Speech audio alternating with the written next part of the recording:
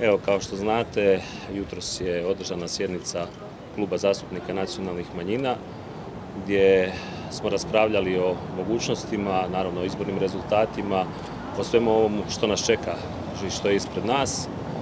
Klub zastupnika nacionalnih manjina je i svi zastupnici svjesni su i ozbiljnosti situacije u kakvoj se Hrvatska nalazi, svjesni su izbornih rezultata, svjesni su kako su glasali hrvatski građani. S te strane svih nas osam zajedno i dalje ostajemo u klubu zastupnika.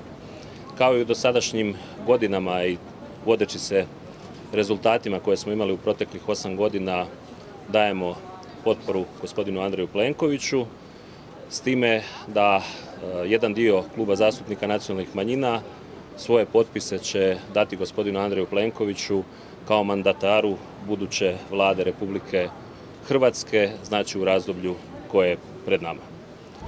Nastavljamo suradnju zajedno, odradili smo konsultacije sa svojim bazama i donijeli smo danas zaključke koje smo evo prezentirali gospodinu Plenkoviću.